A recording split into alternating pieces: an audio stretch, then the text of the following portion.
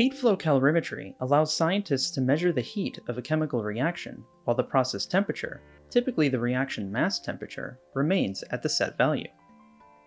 Usually, a double-walled reactor is used in which the desired reaction is carried out under or near process-like conditions.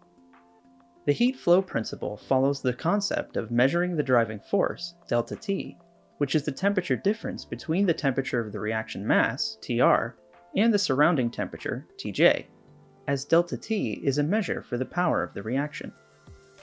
To learn more, go to mt.com/rc1.